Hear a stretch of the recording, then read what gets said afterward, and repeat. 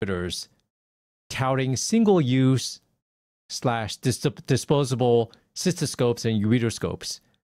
I think you will be seeing a lot more if you haven't been already inundated by reps calling on you in your surgery center, in your hospital regarding these new offerings. In today's video, I'm going to share with you my first impressions regarding the Storz XC1 single use slash disposable ureteroscope. TLDR, I do not recommend it and it is not ready for prime time.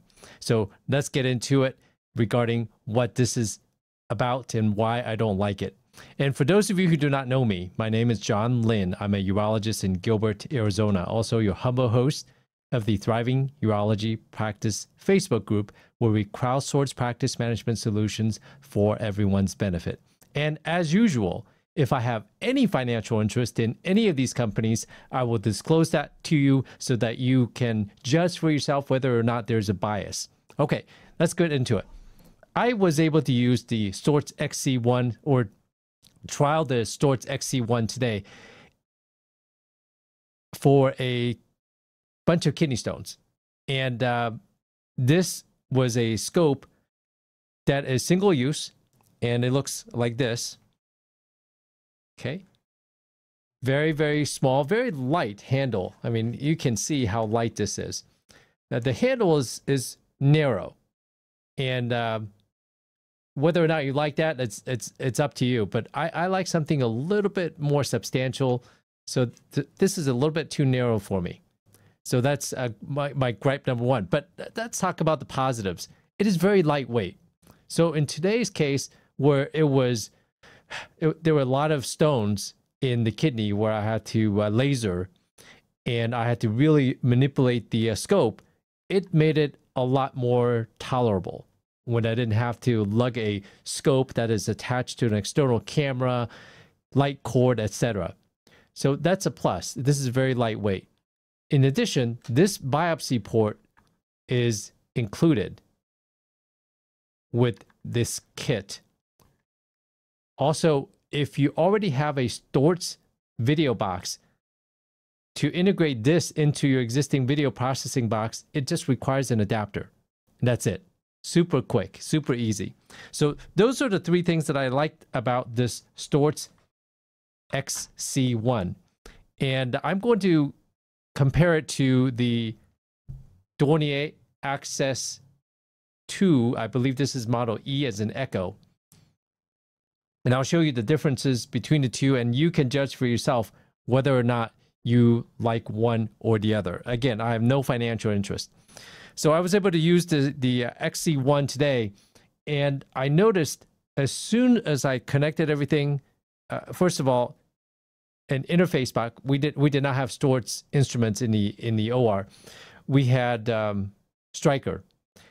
So you you connect the interface box from Storz with the adapter, and then the interface box goes into the HDMI output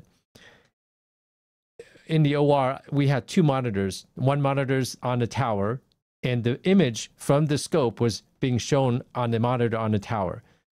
Well, the tower monitor is quite high, so throughout the entire case, I had to turn my head this way and look up, which I'm very big into ergonomics, and this was not ergonomic for me.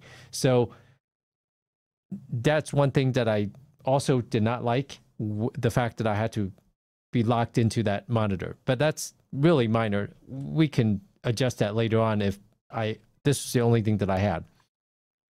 So the other thing is that as soon as I inserted the access sheath and I tried to insert the scope, the distal end of the scope, this thing right here, the one down here, this is the Storz XC1, the one with the silver tip. This tip kind of snagged at the entrance of my access sheath. I was using a 10 12 French access sheath. I believe it's from Coloplast. Excellent access sheath. Did not require uh, uh, that access sheath is awesome because it does not require the little white thing that is on the Cook Flexor parallel to get the wire th- through. So uh, when I do ureteroscopy, single wire, single wire. Okay, I use an access sheath that does that does not require secondary or sec, uh, safety wire. Single wire, put the wire through the access sheath, and then you you want to bend or somehow guide the wire outside of the access sheath, and then put put up the access sheath. So as soon as I try to insert this XC1 into the 1012 French Coloplast access sheet, it's snagged. It's snagged. And I said, well, my surgical tech, I said, Marla, why don't you try to stick this in? And she had a little bit of difficulties as well. Uh, as well. And it's not just me. It kind of hung up a little bit at the entrance. And, and I looked into it a little bit more. The working channel of this scope is actually 9 French. So this is a little bit big. In addition, when I looked at this very, very carefully, this is actually an oval. This is an oval tip, which is surprising because last time I checked, the ureter is round, not oval. Anyway, this was this has an oval tip, which kind of surprised me. it dragged a little bit, and then it went up the ureter just fine. Thankfully, this patient had a nice compliant ureter, and I was able to drive the telescope all the way up. And as soon as I went up there, I tried to deflect the the scope, and I noticed it was making bends. I mean, it it it it was able to bend. I was able to get into the the complex collecting system. The uh, collecting system, thankfully, was not too tortuous. It was a gradual bend to get into the collecting system to each one of the calyces and infundibuli. So I was able to get into each calyx and, and take care of the stone. But during laser lithotripsy, the video, there was some banding on the video. So I turned off the aiming beam on the, I was trialing a, a thulium laser. Oh gosh, it was, um, I can't remember the name. It's called fiber dust. Quanta. It was a Quanta. Quanta fiber dust. I think it was a 60 watt unit. So the, the aiming beam, the green aiming beam, was causing some sort of banding as I was lasering the uh, stone and the stones. So I said, well, turn off the uh, aiming beam. So the banding disappeared. And that type of banding doesn't usually appear with, with the traditional scopes that I've been using. But on this particular unit, there was some banding on the at the where the laser where the aiming beam was. In addition, I noticed there was a hot spot. So being a photographer, when I look at an image, I I see sometimes an area of the image that is really really bright, and that that image, that area is completely washed out. It's, it's white. And then I couldn't figure out why. So afterwards, when I looked at the tip of this cystoscope or ureteroscope, um, let me show you what the big image looks like. So this is the spec sheet on the ureteroscope on the XC1. If you look down here, it actually shows you, uh, it's kind of hard for you to see. There was only one, there was only one LED light source coming from this, this scope. Whereas, let me show you the Dornier Axis, AXIS. If you notice here and here, there are two LED lights for the Dornier Axis ureteroscope, single-use ureteroscope which kind of it gives a, a, little bit more even light, a little bit more even light in the field instead of a hot spot in one area of your image field. So that was one thing that I noticed intraoperatively. Also, the tip of this this uh, scope is actually nine French. It's actually nine French. Nine French taper distal tip, nine French sheath size versus a Dornier Axis is actually 8.5 French outer diameter, 8.5. And it's the same diameter throughout the entire length of the scope. So I had a little bit of difficulties getting it in. The tip is actually bigger than your traditional or the other competitor, which is the Dornier Axis 2E. The other thing that I noticed and I'm going to show you that I have to illustrate this. So once again, the silver tip is the, this one right here is the, uh, the um, sorry, the Storz XC1. if you notice, I'm going to bend at the at the handle. So when I flex the scope down, you'll notice how it takes a very gradual turn. Okay, very gradual turn from down here. All right, versus the one on top. This one is the Dornier Axis 2E. And look at how quickly, rapidly it makes the turn, right? It starts turning right here, okay, right here, versus the uh, the Dornier, no, the Storz XC1, it starts turning way back,